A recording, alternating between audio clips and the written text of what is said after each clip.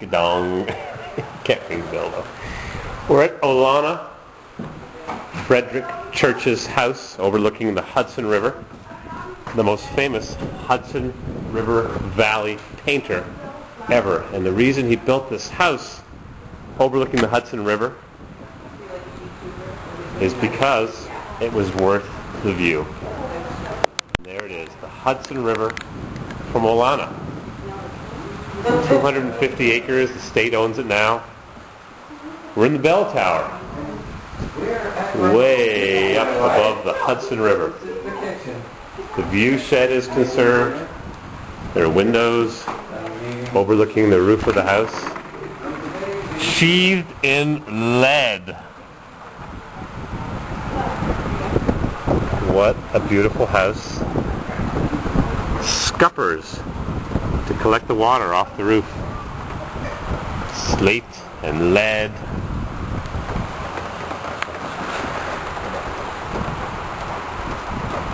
Unbelievable beautiful house. The Rip Van Winkle Bridge.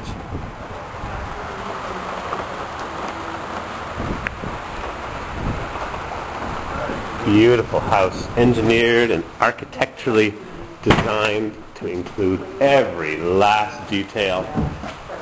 Ceramics, painted brick, colored brick, colored stones. In the family from its construction in the mid-1800s until 1966.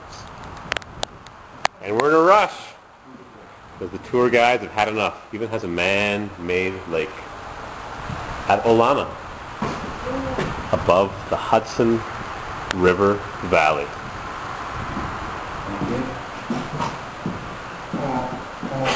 Beautiful. The view out the other window.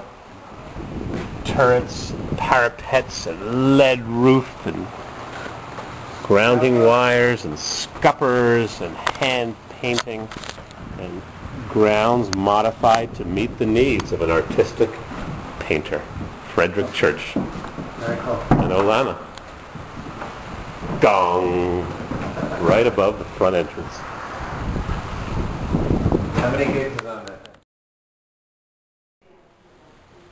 The bell tower and the stairs. And all kinds of different architectural details, ducting systems and lighting and different runs and rises on the stairs.